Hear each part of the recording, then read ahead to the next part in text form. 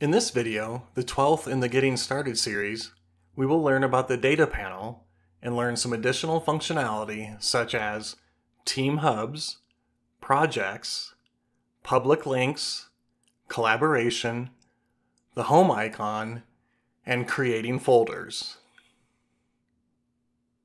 In Fusion, the data panel enables you to view your projects and designs. You can display or hide the data panel at any time by clicking the data panel icon next to the file menu. At the top of the data panel, you'll find the Active Team Hub, which serves as a central location for your team to collaborate on designs and projects. Think of a team hub as a high level organizational name, such as NASA. Beneath this team hub, you'll find various projects, like the Mars Rover project or the Hubble Telescope project.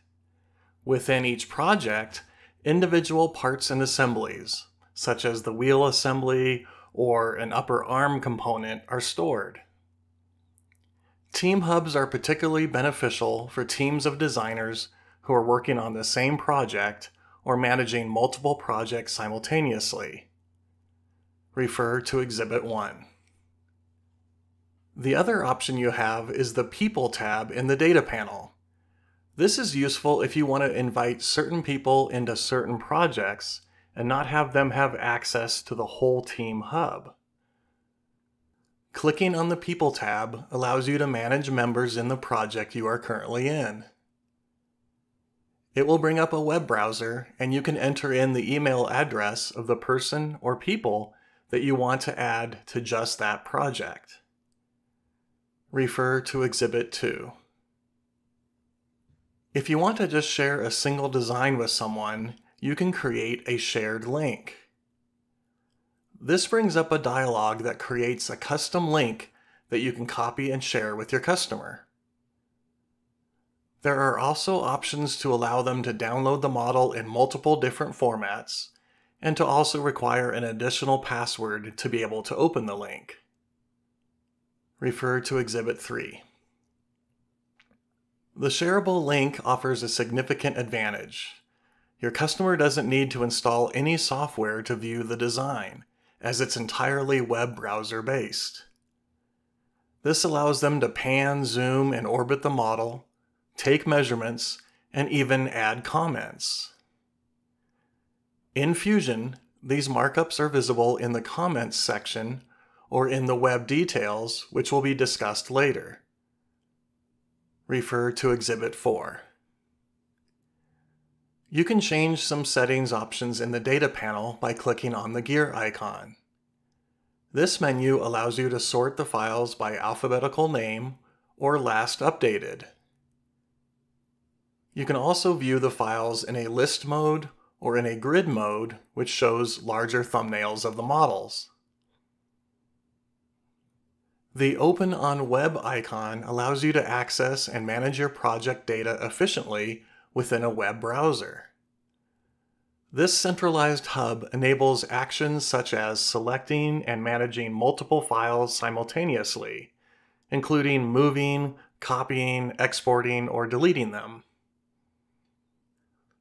For instance, clicking on the fishing reel assembly reveals all associated design references.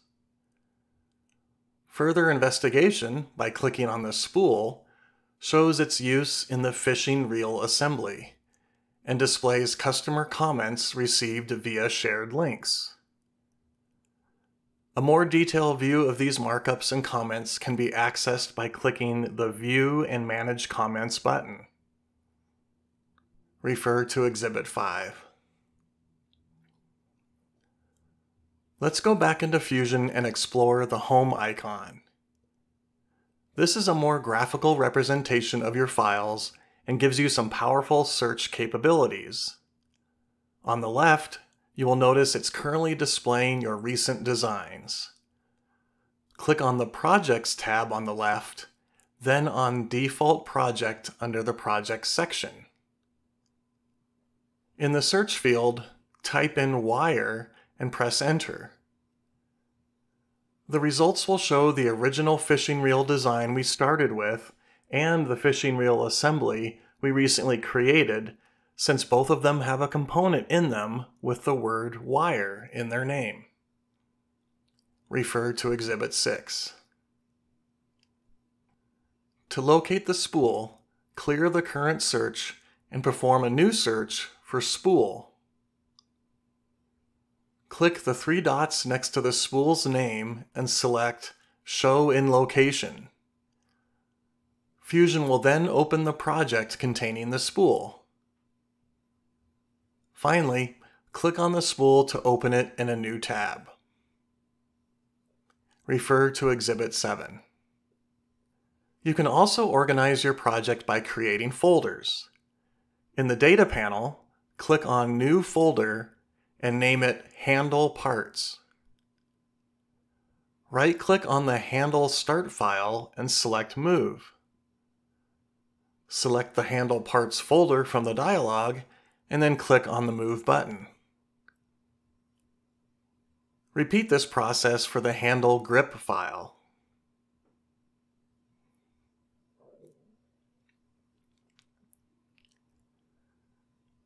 Create another folder and name it Bail Parts. This time, hold down your Control key and select the bail arms, spool, bail, and tensioner. Then right-click and select Move. Choose the Bail Parts folder and complete the move. All of the files will move into the folder at the same time. It is a good idea to keep your projects as organized as possible to help simplify your design process. Refer to Exhibit 8. In the next video, we will learn about inspecting our design.